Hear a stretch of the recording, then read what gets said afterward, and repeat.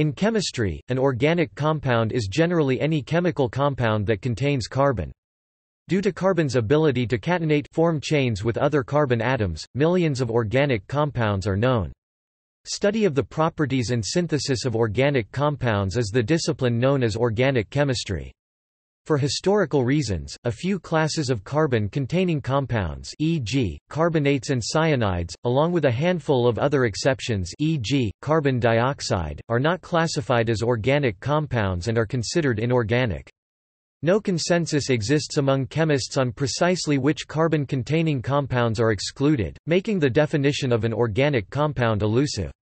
Although organic compounds only make up a small percentage of the Earth's crust, they are of central importance because all known life is based on organic compounds. Most synthetically produced organic compounds are ultimately derived from petrochemicals consisting mainly of hydrocarbons.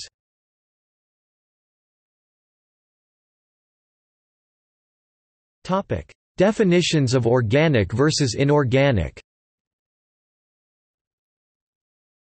For historical reasons discussed below, a few types of carbon-containing compounds, such as carbides, carbonates, simple oxides of carbon for example, CO and CO2, and cyanides are considered inorganic. Allotropes of carbon, such as diamond, graphite, fullerenes, and carbon nanotubes are also excluded because they are simple substances composed of only a single element and therefore allotropes are not generally considered to be chemical compounds.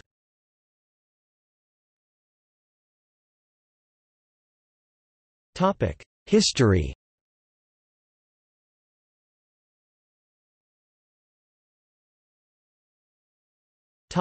Vitalism. For many centuries, Western physicians and chemists believed in vitalism. This was the widespread conception that substances found in organic nature are created from the chemical elements by the action of a vital force, or life force vis vitalis that only living organisms possess. Vitalism taught that these organic compounds were fundamentally different from the inorganic compounds that could be obtained from the elements by chemical manipulations. Vitalism survived for a while even after the rise of modern ideas about the atomic theory and chemical elements. It first came under question in 1824, when Friedrich Wöhler synthesized oxalic acid, a compound known to occur only in living organisms, from cyanogen. A more decisive experiment was Wöhler's 1828 synthesis of urea from the inorganic salts potassium cyanate and ammonium sulfate. Urea had long been considered an organic compound, as it was known to occur only in the urine of living organisms. Wöhler's experiments were followed by many others, in which increasingly complex, organic substances were produced from inorganic ones without the involvement of any living organism.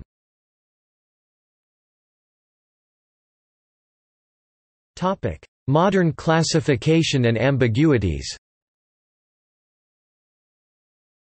Even though vitalism has been discredited, scientific nomenclature retains the distinction between organic and inorganic compounds.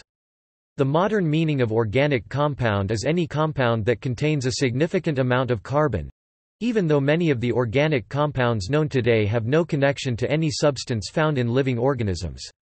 The term carbogenic has been proposed by E. J. Corey as a modern alternative to organic, but this neologism remains relatively obscure. The organic compound L-isoleucine molecule presents some features typical of organic compounds, carbon-carbon bonds, carbon-hydrogen bonds, as well as covalent bonds from carbon to oxygen and to nitrogen. As described in detail below, any definition of organic compound that uses simple, broadly applicable criteria turns out to be unsatisfactory, to varying degrees. The modern, commonly accepted definition of organic compound essentially amounts to any carbon-containing compound, excluding several classes of substances traditionally considered as inorganic. However, the list of substances so excluded varies from author to author. Still, it is generally agreed upon that there are at least a few carbon-containing compounds that should not be considered organic. For instance, almost all authorities would require the exclusion of alloys that contain carbon, including steel which contains cementite, Fe3C, as well as other metal and semimetal carbides including ionic Carbides, e.g., Al4C3 and Cac2 and covalent carbides, e.g. B4C and SiC, and graphite intercalation compounds, e.g. KC8. Other compounds and materials that are considered inorganic by most authorities include, metal carbonates, simple oxides CO, CO2, and arguably, C3O2, the allotropes of carbon, cyanide derivatives not containing an organic residue e.g., KCN, CN 2, BRCN, CNO-, etc., and heavier analogues thereof e.g., CP-, cyaphid anion, CSE, Cus, although CS2 carbon disulfide is often classed as an organic solvent, halides of carbon without hydrogen e.g., CF4 and CClF3, phosgene COCl2, carboranes, metal carbonyls e.g., nickel carbonyl, mellitic anhydride C1209, and other exotic oxocarbons are also considered inorganic by some authorities. Nickel carbonyl CO4 and other metal carbonyls present an interesting case. They are often volatile liquids, like many organic compounds, yet they contain only carbon bonded to a transition metal and to oxygen and are often prepared directly from metal and carbon monoxide. Nickel carbonyl is frequently considered to be organometallic. Although many organometallic chemists employ a broad definition, in which any compound containing a carbon-metal covalent bond is considered organometallic, it is debatable whether organometallic compounds form a subset of organic compounds. Metal complexes with organic ligands but no carbon-metal bonds e.g., Cu OAC are not considered organometallic, instead they are classed as metal organic. Likewise, it is also unclear whether metal organic compounds should automatically be considered organic. The relatively narrow definition of organic compounds as those containing CH bonds excludes compounds that are historically and practically considered organic. Neither urea nor oxalic acid is organic by this definition, yet they were two key compounds in the vitalism debate. The IUPAC Blue Book on Organic Nomenclature specifically mentions urea and oxalic acid. Other compounds lacking CH bonds but traditionally considered organic include benzene hexol, mesoxalic acid, and carbon tetrachloride. Mellitic acid, which contains no CH bonds, is considered a possible organic substance in Martian soil. Terrestrially, it, and its anhydride, mellitic anhydride, are associated with the mineral mellite all 2C6 COO 616H2O. A slightly broader definition of organic compound includes all compounds bearing CH or CC bonds. This would still exclude urea. Moreover, this definition still leads to somewhat arbitrary divisions in sets of carbon-halogen compounds. For example, CF4 and carbon tetrachloride would be considered by this rule to be inorganic, whereas CF3H and CHCl3 would be organic, though these compounds share many physical and chemical properties.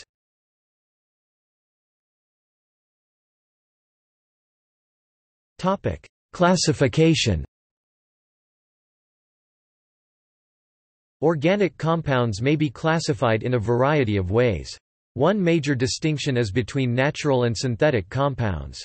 Organic compounds can also be classified or subdivided by the presence of heteroatoms, e.g., organometallic compounds, which feature bonds between carbon and a metal, and organophosphorus compounds, which feature bonds between carbon and a phosphorus. Another distinction, based on the size of organic compounds, distinguishes between small molecules and polymers.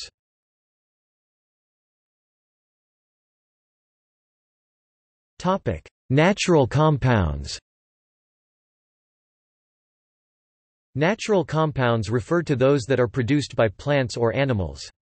Many of these are still extracted from natural sources because they would be more expensive to produce artificially.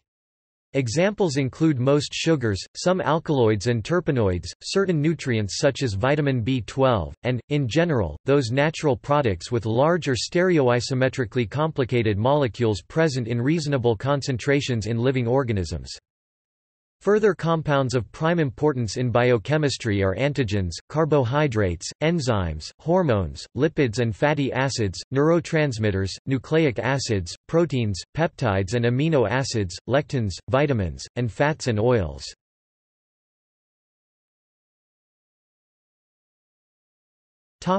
Synthetic compounds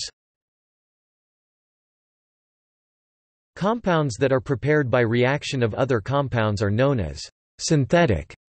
They may be either compounds that already are found in plants or animals or those that do not occur naturally. Most polymers a category that includes all plastics and rubbers, are organic synthetic or semi-synthetic compounds.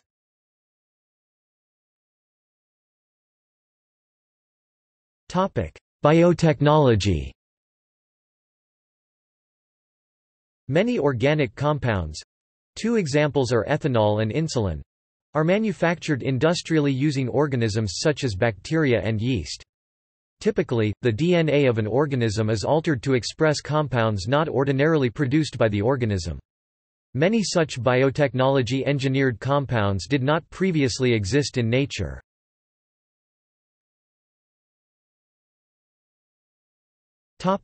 Databases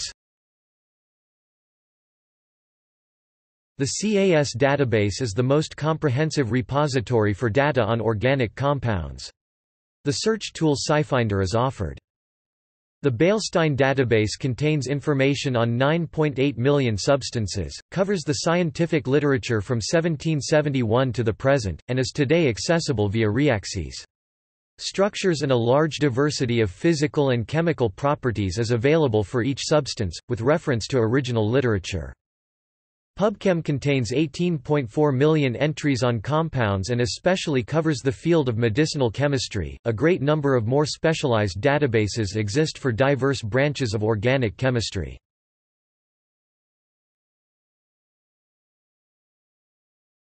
Topic: Structure determination. The main tools are proton and carbon-13 NMR spectroscopy, IR spectroscopy, mass spectrometry, UV, vis spectroscopy and X-ray crystallography.